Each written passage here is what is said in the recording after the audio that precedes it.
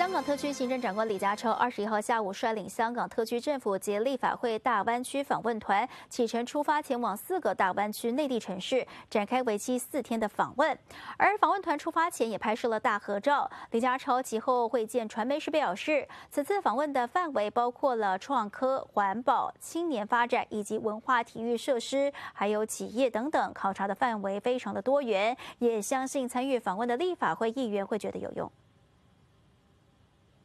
我哋今次嘅访问团咧，系表现咗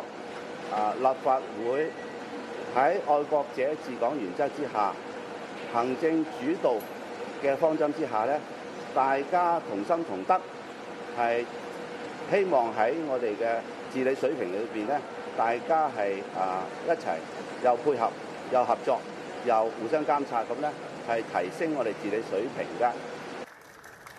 李家超又表示，此次大湾区访问有三个第一，包括了第一次本届特区政府以及本届立法会联合出访，第一次在完善选举制度、落实爱国者治港原则后展开联合出访，也是香港与内地全面通关之后最大规模的官方访问。这一次四天访问行程总共是到访四座城市，立法会议员分成两组，那么首站深圳呢和尾站广州会集体行动，中途其中呢有一组是前往到。东莞，另外一组则前往到佛山，李家超将分别参与两个组的部分活动。